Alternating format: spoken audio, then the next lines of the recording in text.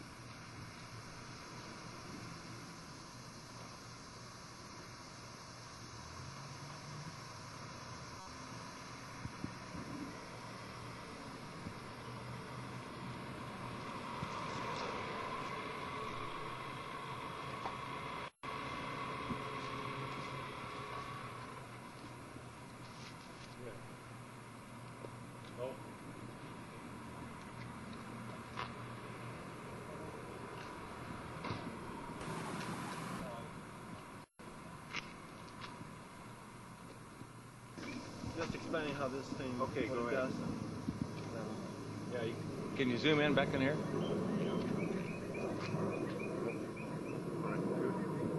Are, are we on? Okay. Yeah. Okay, now this is the uh, hydrogen computer system, which was designed uh, in order to be able to process the fuel, to produce the hydrogen gas from water and do it economically and be able to control its firing, going in the engine to allow the uh, uh, the Volkswagen engine to run uh, off of uh, hydrogen. There's a lot uh, uh, engineering design that went into this, even though that this is our uh, our systems engineering approach. Uh, the hydrogen computer system you see here will be miniaturized down to several uh, IC chips, which will allow us uh, to give the economics uh, to apply to a conventional car. Over here, uh, there's very unique design features uh, that had to be developed in order to uh, develop the water fuel cell as a, a retrofit energy systems to conventional cars. Um, we had to go ahead and devel- uh, develop the laser, what we call the laser distributor, as you see right here, which is put between the conventional uh, rotor cap and that of the rotor assembly. And primarily what this does, this sets up the electronic uh, signals that goes back and triggers the computer system in order to allow uh, the car to run successfully on hydrogen. Uh, in order to run this uh, engine off of uh, water, we've also had to learn the ability to adjust the burn rate of hydrogen to co-equal the fossil fuels. We did this by simply now um pulling off a portion of the exhaust gas that's coming from the engine, as you see through this tube here, that's going through this electronic regulator that's hooked up to the hydrogen computer.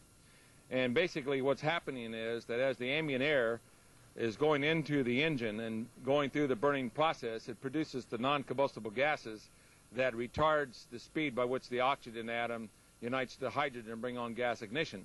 So by simply using the, the non-combustible gases coming from the exhaust of the engine, we now modulate and control the speed by which that oxygen unites with the hydrogen, and therefore we are adjusting the burn rate of hydrogen to co-equal that of gasoline or, or, or fossil fuels or even diesel fuel. And that gave us the number one uh, retrofit capabilities of retrofitting the water fuel cell technology to an existing engine. And we do this electronically. The unit that you see right here, we call this a gas processor.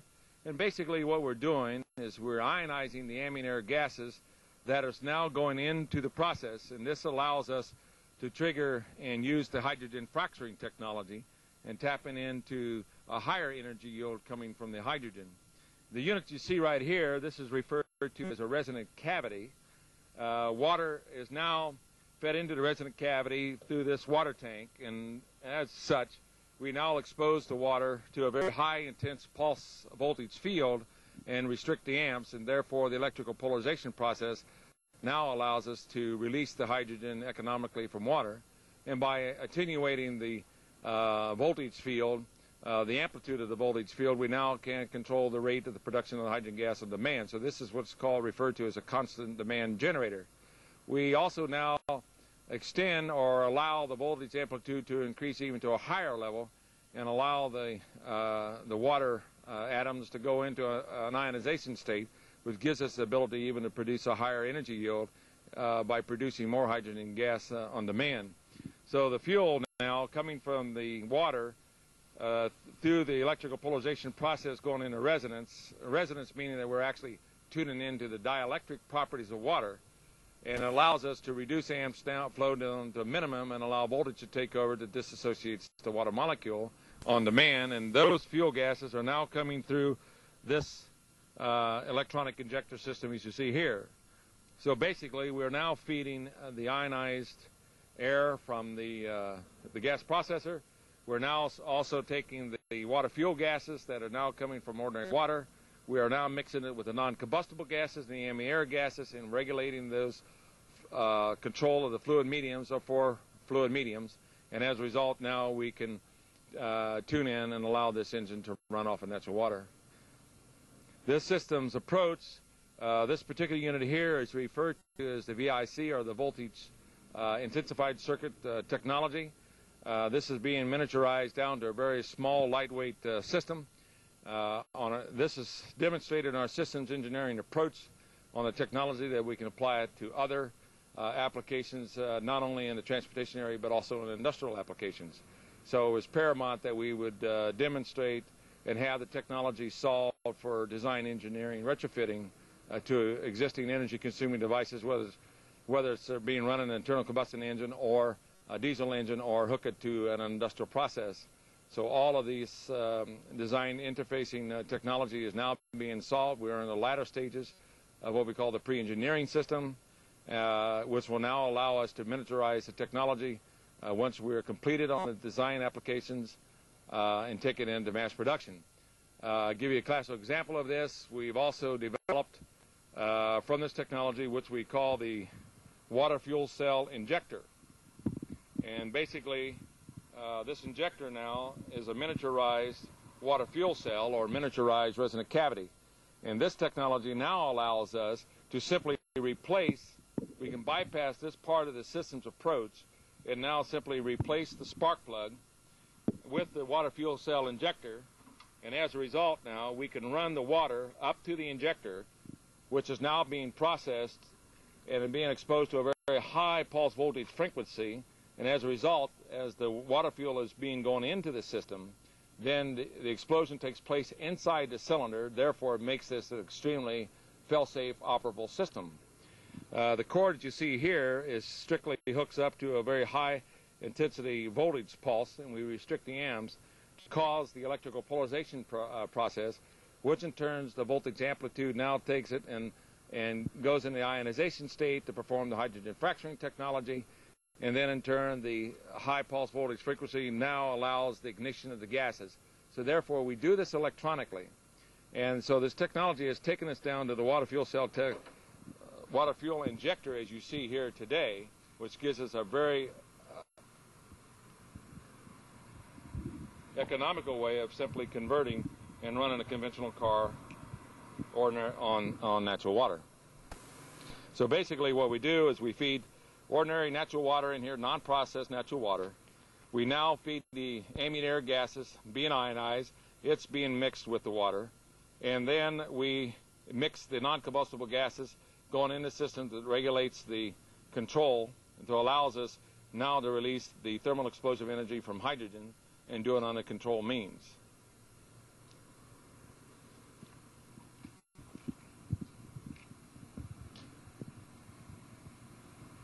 Further development on the on the technology, centered around also the development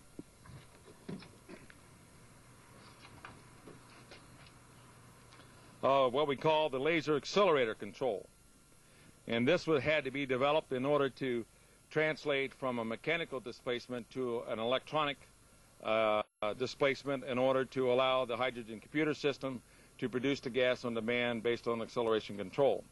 So what you're really seeing with the water fuel cell as it is today is that we have a full system engineering approach allowing us now to use water as a main fuel source to be able to run a conventional engine and run it on water and do it and equal or supersede the performance uh, of a, a, car running on gasoline and diesel fuel. Many people do not realize that when you run a car or truck on uh, either gasoline or diesel fuel, you're actually running on hydrogen. And all we're doing is using the hydrogen from water. And under the National Bureau of Standards figures shows that when you use water, the energy release is roughly two and a half times more powerful than that of gasoline. So water is a very powerful fuel. And all you needed to do was solve the answers of number one, producing the hydrogen economically, controlling it on demand, being able to adjust the burn rate of hydrogen gas to co-equal the fossil fuels, and the third one was to be able to transport it without spark ignition. And we've solved all of these problems on the design engineering. And of course, the water fuel injector, as I've shown you, now gives us the abilities to uh, transport the water directly to the fuel injector, which is now going into the voltage zones, which now is performing the, the electrical polarization process that goes and triggers the hydrogen fracturing technology. But it's doing it inside the engine. So we all know that natural water um, is very stable, and therefore it, becomes a very fail-safe, operable system, as we pointed out earlier. Yeah, we talked about that. Yeah. Yeah. So in a system en engineering approach, uh, in mass production, it looks like we can translate and reduce the systems approach down to a unit that costs roughly $1,500 per vehicle. Uh, for trucks, it will be slightly uh, larger than that, uh, below $5,000. It looks like uh, we'll be able to reach the economics to it and use an ordinary natural water. You add nothing to the water. You don't process the water in any way. Now here's another uh, feature to the system that everybody asks me about is, is what happens uh, to the water in the wintertime? Does it freeze up? Well, part of our technology was in the areas of development what we call a steam resonator.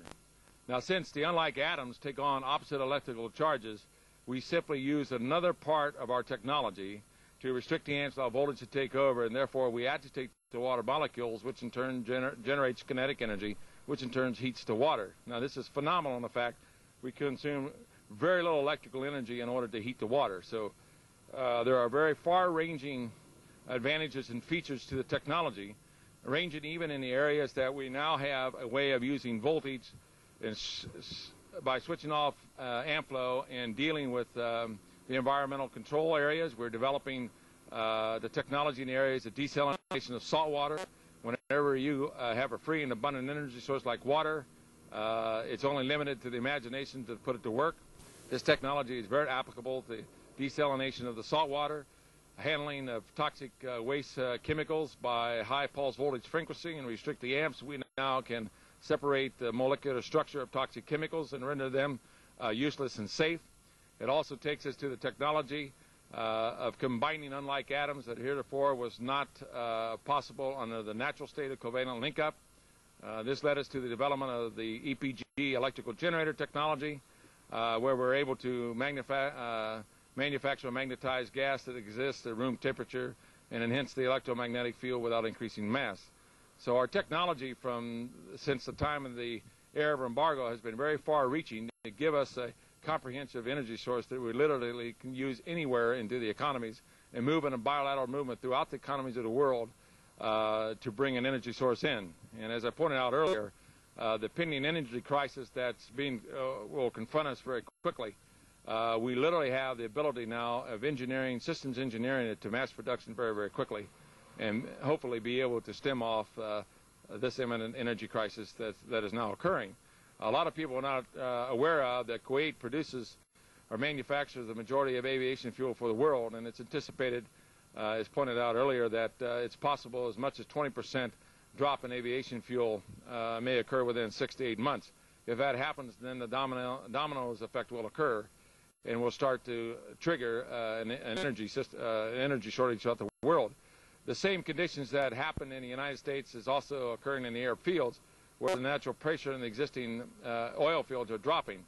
Uh, the only difference between the U.S. and the Arab fields is their, their pressure is dropping three times faster than occurred in the United States. You just can't keep pulling the oil out of the ground and expect it's going to be there forever. The hourglass effect is occurring at a more uh, faster rate now on nuclear power plants.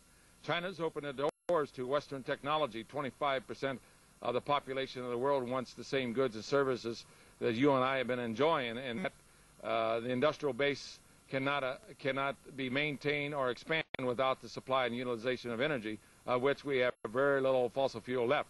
So it's imperative that that we develop the technology that we can move very quickly, and of course water was the answer to it, uh, because water is a very free and abundant energy source. And so this technology has led us to the abilities of harnessing and using the water uh, in this particular way, which we call the water fuel cell technology. Could you give an indication of the amount of energy stored in a gallon of water compared to a barrel of oil, for instance? Yes. Uh, as I pointed out earlier, when you separate the hydrogen and oxygen gases and go into the gas ignition process, uh, its energy uh, release is roughly two and a half times that of gasoline. Now note the reference is not two and a half times that of fingernail polish, it's two and a half times that of gasoline. But in the hydrogen fracturing technology, we have uh, developed the technology, as the Lord has shown me, that by igniting the hydrogen and oxygen gases and setting up a condition by which the uh, water molecule is prevented to form, then we now can tap into a very higher energy yield. And as a result of this, uh, the hydrogen fracturing technology shows that we can release energy up to beyond 2.5 million barrels of oil per gallon of water and do it safely. And uh, as had shown you earlier, we are now preparing this technology uh, to be retrofitted directly to a jet commander, uh, which we plan not only to fly around the world nonstop uh, around the equator, but turn 90 degrees and go from the North and South Pole. So it's a tremendous amount of energy source. And what we've done is found a, a triggering process to allow us to release this tremendous amount of energy and do it safely. So it gives us the ability to not only uh, sustain and maintain the economies of the world, but also give us the abilities to uh, handle the environmental pollution problems at the same time. We can't keep putting CO2 in the air and expect that the energy level is going to be there even for our plants. And uh, we all talk about the greenhouse effect, but very few people come up with a viable answer to it. And the water fuel cell technology gives us the ability. You get us? Yes. Stanley, can you can you explain the your driving force behind spending all this money and energy developing something like this? I mean, it's, it's cost you about 10 years of your life. Can you explain why you're doing all this and what really drives you to keep? Well, I uh, I did an analysis during the Arab embargo uh, as to what actually occurred. I didn't pay any attention to the political leaders as to why we had an energy problem. And I realized that without a new free and abundant energy source to come into the world economy very quickly, then the world economy uh, could collapse. So uh, as a scientist, uh, I have a very diversified background from research development, product development, engineering, and corporate entrepreneuring. And when I realized uh, the problem that was confronting us, uh, I went into my office laboratory. And as a scientist, I had always uh, believed that there was an existence of God. It was mathematically impossible that we had derived ourselves from swamp gas. If you got to have a lot of faith, you have to you have to have a lot of faith to believe in evolution. And so I went into my office laboratory and I said, God, I love my country. It's the greatest country in the world. If you'll help me put a power supply in the country, I'll do anything that uh, you want me to do. And subsequently, I was like Paul on, on uh, the road to Damascus. I didn't know the Lord, but once uh, he revealed himself to me, uh, subsequently I was filled with the Holy Spirit, and I've been exercising the power and authority of the Word of God, uh, bringing this technology in. And many people ask me about, uh, do I fear my life? I have learned the, the power of angels, and I have been protected in trying to bring this technology in. The ultimate objective is not only to stabilize the economies of the world, but uh, if we realize any funds from the technology, uh, it will go into world evangelization. You see, I, as a scientist, once truth is shown to me, truth is truth. And, of course, I got what I wanted, a ticket to go into heaven. I got filled with the Holy Spirit. And so, as a scientist, uh, truth is truth. And I have responsibility just as I have a responsibility to the water fuel cell technology to try to bring it out into the world, I also have the responsibilities to relate the truth of the Word of God, uh, not only to the guy, uh, to the next door neighbor or the guy down the block, but also relate that truth or that knowledge to uh, every person in the world if I possibly can do it. So the ultimate objective of the water fuel cell technology really is to help set the financial base of capable of evangelizing the world. Now this is there's a difference between spiritual knowledge and worldly knowledge. And you can't go to the world system and ask them to help evangelize the world and spread the gospel. Uh, but you can go to a world system and give them a cheap uh, power supply that's so economically they'll save them economically, and then those funds will go into the world evangelization. So uh, the water fuel cell technology, really, the ultimate objective is to accomplish the task of evangelizing the world uh, by giving the financial abilities to do so. And that's my prime, that's my ultimate and prime objective. Uh, the water fuel cell will give us the abilities to do this.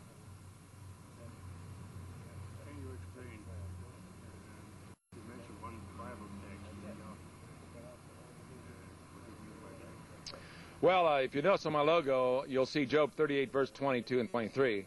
And this is where the Lord is talking to Job, and he asks Job this question. He says, Have you considered the treasures of snow, or have you considered the treasures of hell, which I have reserved against the time of trouble, against battle and war? Now, the interpretation of the scriptures are as follows Is not snow the most beautiful part about water? That no one snowflake looks exactly the same as that of another? The treasures of snow is the characteristic and knowledge of water. The Lord knew that, in fact, that we would have and reach a very critical point in our history that since we went on dependency of fossil fuels, that, that the flow of fossil fuels uh, may be disrupted. And as a result, the Lord specified that this knowledge of water would come out of time of great trouble. But he also specified that the knowledge would come out prior to two events. Okay, Sam. Now that we've uh, now that you've heard how the thing functions, you explained your background, why you're working on this thing, uh, what do you think of possible applications, and where do you think this this device can be applied in what scale and what's the amount of energy we can get out of it? Like you talked before about converting cars, uh, com commercial airplanes. Uh, is there any other application you think of? Oh yes, not only uh, is this technology applicable for all uh, modes of uh, transportation, uh, but it also has application in industrial processes. During the Arab embargo, I was called in a meeting in Columbus, Ohio with the industrial leaders, and Columbia Gas System informed us that our gas was being cut off 100 percent uh, what actually were telling us that we were going out of business. And I saw some of the most richest and most powerful industrial leaders of the state popping pills, and I thought they were going to have heart attacks. Because basically, without energy, you can't make a uh, product. If you can't make a product, you can't make profit. If you can't make profits, you cannot pay your bills. So, result, the bigger you are, the harder you fall, the faster that uh, you would go in economic uh, uh, bankruptcy. So, it was imperative that this technology not only be uh, developed for the uh, transportation areas, but also to apply to industrial applications uh, to be able to give energy. Uh, the technology and hydrogen fracturing technology that gave us the abilities to go in and to protect the military integrity of the Western world. So this technology is applicable not only in, in those areas, but uh, for example, um, during the Arab embargo, uh, our Navy task force did not have the fuel. And so as we have the abilities now to go on the maritime applications, uh, literally run the ships off of water uh, as a main fuel source, and at the same time using the application is cleaning up our environment and pre uh, preventing from the CO2 and the contaminants uh, that go in the air. So we can move this technology bilateral on every aspect of the economy and do it very, very quickly. And so that, that led us, leads us now into the fact that we have been developing this technology uh, for mass production. And so once uh, we finalize debugging of the pre-engineering unit, then we're going to translate it into a very cost-effective uh, system uh, by taking the technology into microchip technology and plastic mold injection technology allows us now to move this type of technology very quickly. Matter of fact, one master mold uh, set uh, can produce over 11,000 units every 24 hours. That gives us abilities now to move in a bilateral movement, but to get the energy source throughout the entire world quickly, uh, if uh, if the oil is shut off uh, to us, either by war or by some other methods. Um, a lot of people do not realize Saddam has the viral germ through genetic restructuring. That if he uses it, one uh, uh, it lives off the bacteria of air and water and even of oil. And if he uses this, uh, it's possibly that the oil could be contaminated very quickly. And if that is so, then every country in the world would be faced of shutting off the flow of oil to each of their countries. Now, without the supply of fossil fuels, within 180 to 240 days thereafter, uh, about 1.5 billion people would be facing starvation very, very quickly uh, because we need that flow of energy in order to maintain the industrial basis of the world. So we've designed a technology to be very flexible to use every segment of the economy and do it very quickly. So we're all in the same boat. And what we're doing is illustrating that, yes, the technology is viable. Here we do have a viable technology that we now can use water as a fuel source because water is a, very uh, free and abundant uh, fuel source. But it's going to take you and I and the guy down the street and the people in each country to bring this technology uh, into the marketplace to stabilize their countries. And so as a result, we are uh, developed it uh, under the KISS method, keep it simple, stupid, to comply with the law of economics that the guy who comes the cheapest way is going to win out. So by decentralizing the mass production of the system and, and, uh, and the fabrication of the system and decentralize the installation of the system, then we should be able to move in a bilateral movement throughout uh, all the countries of the world to get this type of technology into their countries to stabilize their, their economic base.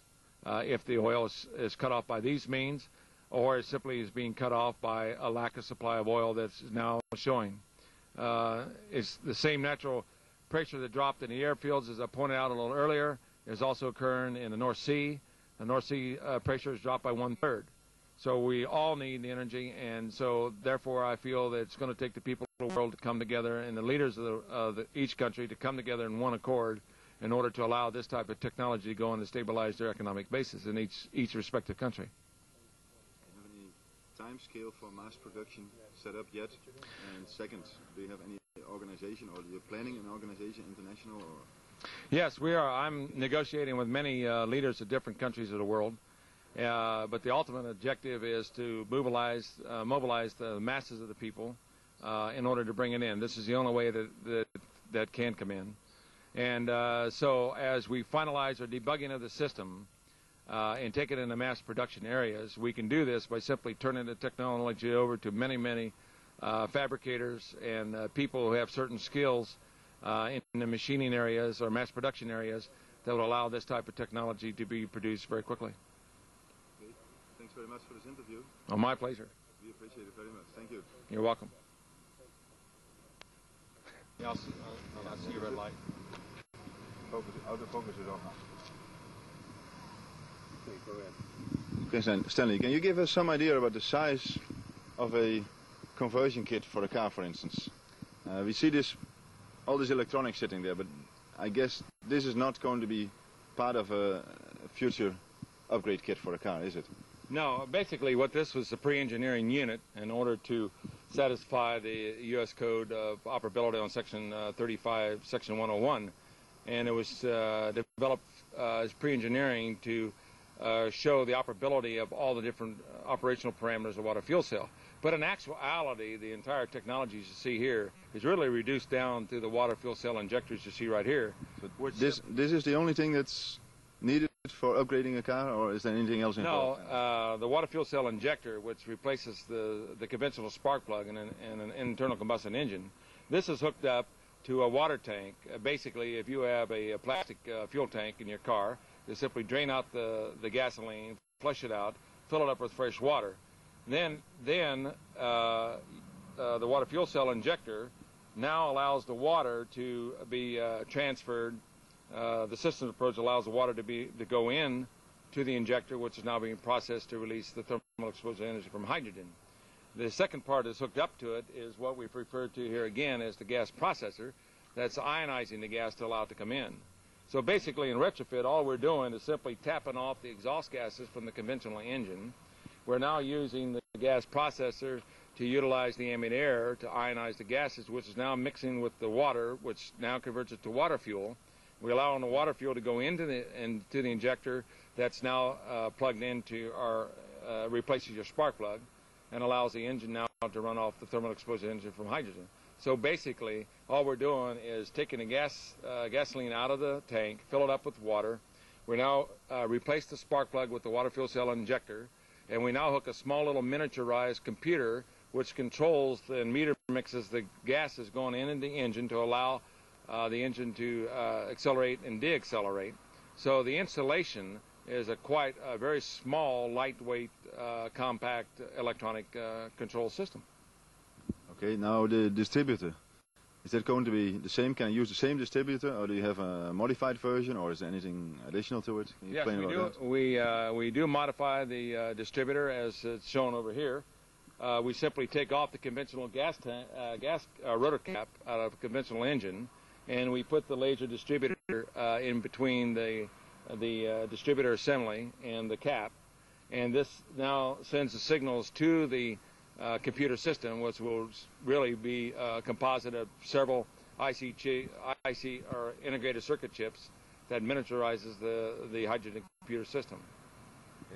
This whole hydrogen stuff, isn't it extremely explosive in the car? Is there any danger involved? What's the safety aspect of it No, we have actually solved the problem. Uh, there's no storage of hydrogen whatsoever.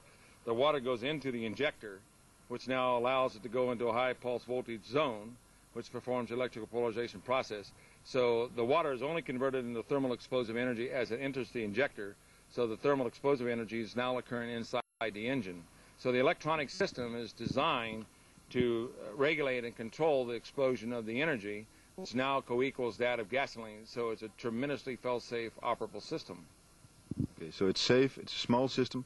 Yes. Uh, what about maintenance of the car engine itself? Uh, do I need more maintenance? Is there difference? Um, is there anything, do I have to modify anything on the maintenance schedule? No, just keep the same uh, maintenance uh, as you, you have it. Uh, since you're releasing thermal explosive energy into the engine and you're co-equaling the, the burn rate of gasoline, then there's very little maintenance. Uh, if there is uh, any maintenance at all, we developed the technology years ago that we could really impregnate the cylinder walls uh, of the engine with Teflon, and we can even uh, impregnate and treat the bearings and literally run an engine off of uh, off of the Teflon and eliminate the oil.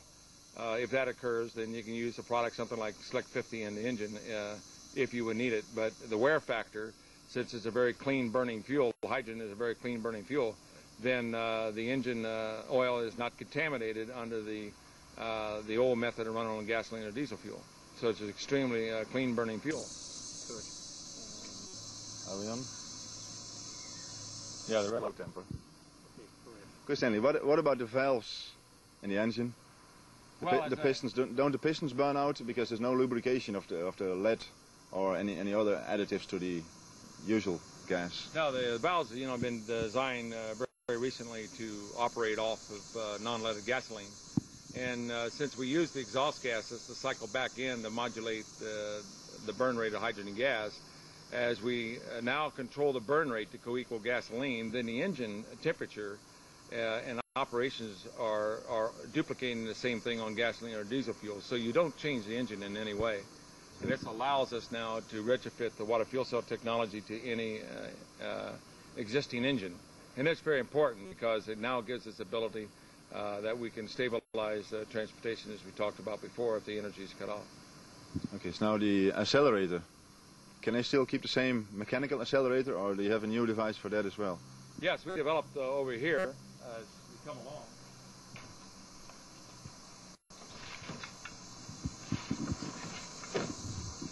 We've developed the uh, what we call a laser uh, accelerator, as you see right here, that um, simply is attached to the accelerator pedal, and it trans uh, as you press the pedal down, the gas pedal down, it displaces the um,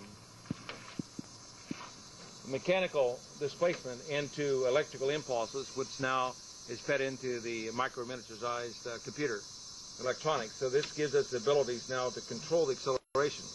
This type of technology uh, has given us the abilities to equal or supersede the performance of acceleration and deacceleration on conventional uh, cars that's running on gasoline or diesel fuel. So the, the hydrogen, uh, being two and a half times more powerful than gasoline, uh, gives us a tremendous amount of performance over the prior state of the art. It runs very smoothly and uh, uh it, it, has a very unusual sensation. Uh, generally, when you're running a, a, car on gasoline, you have this kind of a pause. But when you're running on hydrogen, the way we're doing it, it's a it's a constant acceleration. So it's a it's a extremely very fast responding uh, fuel source that's coming from water. So, so you're claiming that performance is equal or better as a normal gasoline car? Oh yes, definitely. It'll even start up quicker. Uh, in uh, in the wintertime, you're dealing with uh, uh, a liquid gasoline or liquid diesel fuel, and you have problems in starting. Uh, in cold weather, you don't freeze uh, you don't freeze uh, gas uh, gas atoms, and uh, so by converting the water into instant energy, uh, gives us the ability to start the en- engine very very quickly. Like when you start an engine in the morning, for instance, uh, how long does it take uh, before you can drive away? Oh, it's it's uh, an instantaneous startup. Uh, immediately when pulse voltage frequency hits the the water, uh, it converts it to the gas, which now produces a thermal explosive energy. So it's an instant it's an instant uh, type of start. Okay. The electronic uh, circuit interfacing gives us uh, the abilities to control and meter the amount of water that's going in on the start condition as as opposed to on a run condition. So the computer automatically adjusts between the start condition and the uh, and the run condition. So electronically, we have the abilities to adjust for these parameters. And uh, the same as a conventional car, we also have the abilities to adjust for uh, different ambient uh, air uh, conditions, uh, going from sea level up into the mountain ranges. So automatically, the electronic uh, circuitry design gives us the abilities to adjust these parameters to give us a very smooth operational uh, performance. But uh, what about air pressure? I mean, when you go up high in, in the mountains, you don't use uh, ambient air, so it has no influence on the performance of the car. No, uh, if you come over here, um, here we have a, a part, uh, a device is a metal bellows, which now allows uh, to control the amount of ambient air going into the engine uh, of the car. And this automatically allows us to regulate uh, the ambient air pressures going from sea level up into the mountain areas. So electronically, these uh, uh, solenoids you see here uh, are have sensors that automatically senses the amount of ambient pressures, and they're automatically electronically adjusted to compensate it for difference of air pressure. So this allows us now to give us tremendous good performance, going from sea level right on up into the into the high mountain uh, regions.